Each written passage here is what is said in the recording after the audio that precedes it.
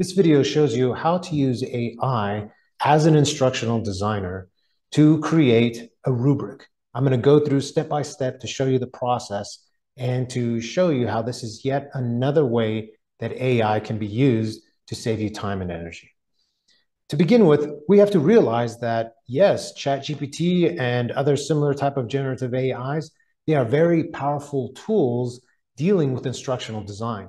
They've been trained on many, many different books, many different internet resources dealing with instructional design, with pedagogy, with how to use it specifically for teaching and learning. So this is just one application for it. I'm going to be making multiple videos that will address how to use it for many different aspects of instructional design.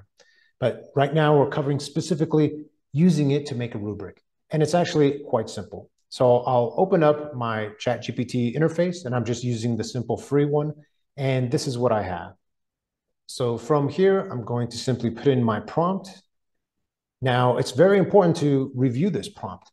So what I said specifically was, please create a rubric for a university level professional communication course.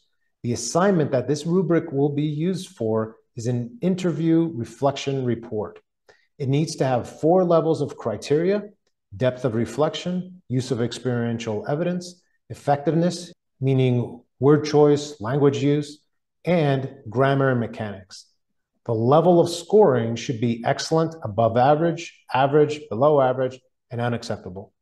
It's really important to have a nice, good, well formulated prompt in order to get the best type of result from your AI.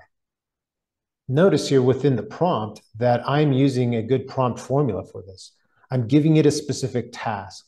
I'm telling it what exactly that I want. I'm giving it instructions that, hey, it needs to be for a university level course, right? The task, of course, is creating this rubric, but now the instructions have to be more specific. The context needs to be there. So I want not just a rubric, but it needs to be a university level rubric and it needs to be for a professional communications course.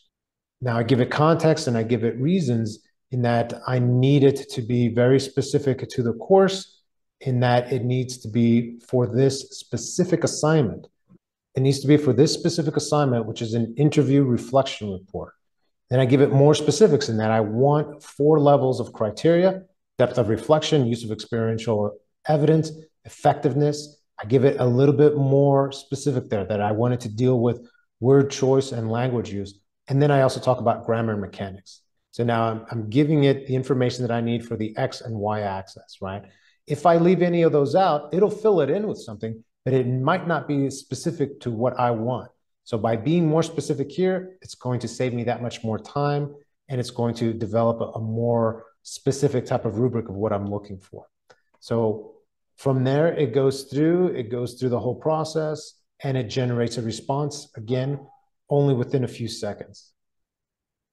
Notice that it actually generates this and puts it in a matrix type format. So this is what I'm looking for as far as this is how I'm going to want my actual rubric to look like. So from here, all I need to do is go through, highlight it, copy it. And now that I've copied it, I'm going to go into my Excel. I'm going to paste it in there. And then I'm just going to touch it up a little bit by making it look pretty. And then now the very important thing that I need to do is I need to go through it. I need to make sure that I review each part of it, right? Because that's an important part of AI literacy is this critical analysis. I need to critically review. And as I go through it, wow, this is exactly what I want. Very minimal things that I need to touch up, very little things that I want to change because this is practically, for the most part, exactly what I'm looking for. So this has saved me a bunch of time. And there you go. There it is. It's all put together. Now I just need to make sure that this is a proper assignment with a proper rubric, that I explain it properly to my students in the in the instructions. I tell them specifically, can you use AI? Can you not use AI?